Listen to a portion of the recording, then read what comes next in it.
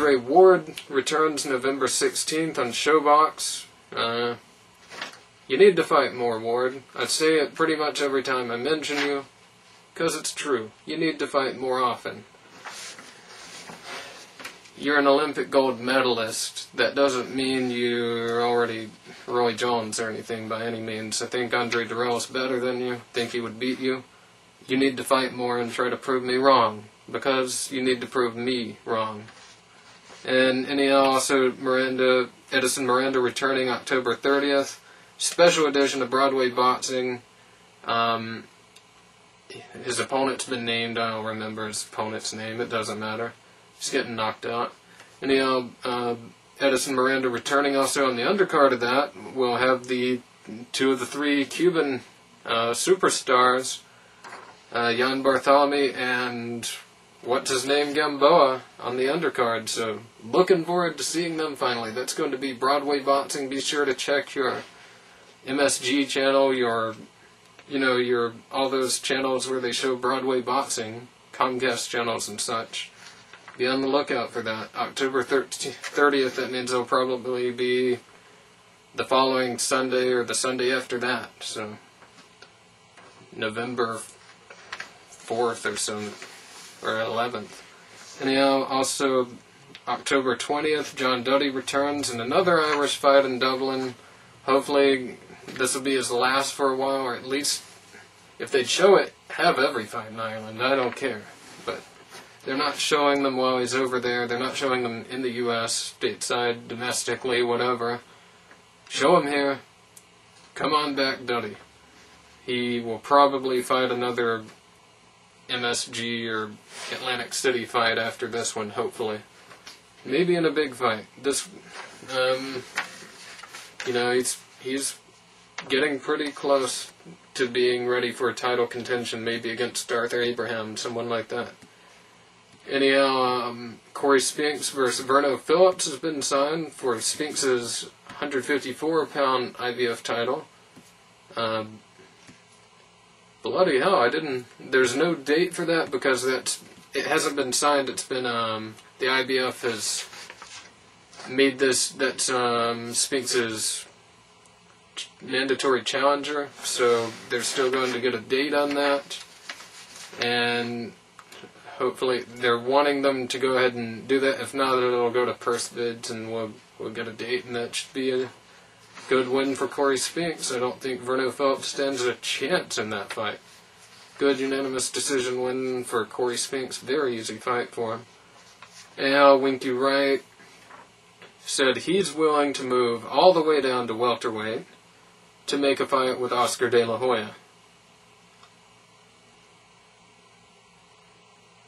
Winky Wright said he's going to move down to welterweight, or is willing to move to welterweight, a weight class he's never fought at, to fight Oscar De La Hoya. De La Hoya wants no part of that. He's not even really considering that. That's entirely too much weight for you to go down, Winky. Please don't do that. 154, 150 even, okay, but welter, no, you don't need to go down that far. I don't like that at all. You don't need to do that. Your last fight was at 170. Don't you don't need to do that. He's coming back down to 160 or whatever. He's you know, but he doesn't need that. Anyhow, He's any um, also Allan Green returning off TV October 19th. Apparently it's off TV. I haven't seen anywhere to be shown yet. Hopefully they show it somewhere. But October 19th. We need something for that week anyhow. It would be very nice if they'd put that on Telefutura. Telefutura, please, show that. Someone. Someone send a link if you possibly have, but I doubt they'll show that anywhere. Anyhow, also um, Julio Cesar Chavez Jr. Uh, versus Ray Sanchez. Um, that's going to be a top ranked pay per view, and Jorge Arce on the undercard of that.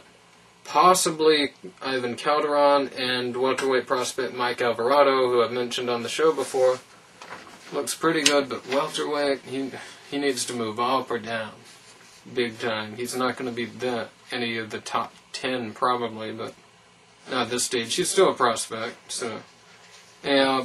But that should be an interesting pay per view. Not happy it's pay per view and it's December first, but um, glad to have Chavez Jr. and Arce fighting. So and Calderon. So we'll look forward to that. And also, if Chavez Jr. and Arce win, it could set up a March a March 2008 Boxing After Dark card for them, with both of them on. Uh, it would be, and also Alfonso Gomez would need to win his match. If that happens, it'd be very likely for Alfonso Gomez to get Chavez Jr. the the fight that should be this fight. Truthfully, it should be Gomez versus Chavez Jr. on this pay per view coming up, and that. But anyhow, March 2008. That's very likely that that'll happen if um, Alfonso Gomez gets past Ben Tackie October 16th on the Contender Special, which I think he will. I have no doubt he'll get past Ben Tackie at this point. I mean, Ben Tackie's usually a 140 pound fighter or below, anyhow, so 147, nah, he's not going to beat Gomez. Gomez is better. And so hopefully we got that. And also, they're talking about Arce versus Martin Castillo for that Boxing After Dark card March also.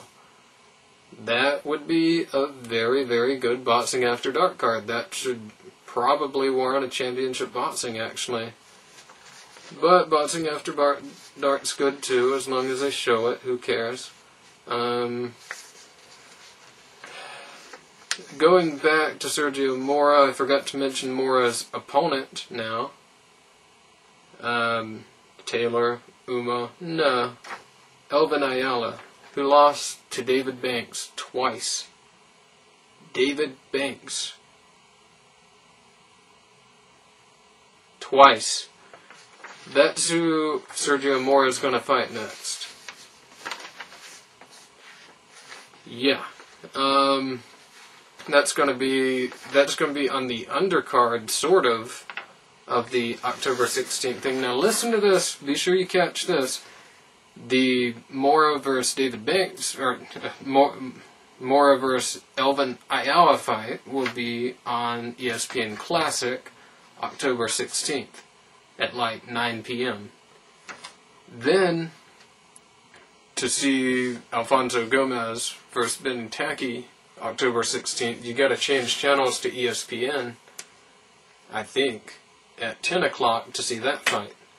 So even though they'll both be in the same venue, I'm pretty sure. Don't know why they're doing it that way. It's very stupid. Just they got ESPN Classic, they got ESPN, they got ESPN 2. Put it on one of those channels. It doesn't matter which.